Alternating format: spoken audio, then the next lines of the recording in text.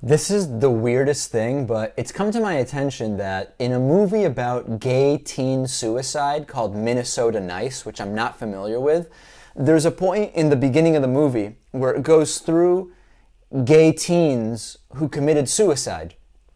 And somehow my picture's in there.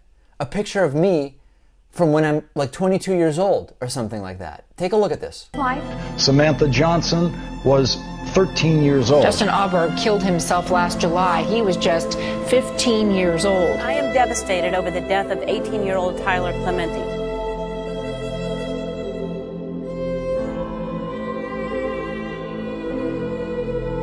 What the hell is going on around here? I, I, have no idea what this is. I've never heard of Minnesota Nice until it was pointed out to me that I'm, I'm featured in the movie as a gay teen that the movie is dedicated to who committed suicide. I, I'm obviously not a teen, and the picture is from when I was 20 something.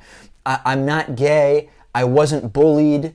I'm alive. I mean, I, ju I just don't get what the hell's going on here. I don't know how I got into this movie. If anyone knows anything about the producers or, or where what list they got to, to feature people or what on earth is going on here, it would be really good to know because I'll be honest, this is the weirdest video explanation I've ever had to do about anything. I, I've had to do videos when I've misspoken on the David Pakman show, or I've had to do videos debunking other stuff, but explaining that I'm not a, a dead gay teen, uh, which is a horribly tr tragic story that we cover about many actual gay teens who commit suicide.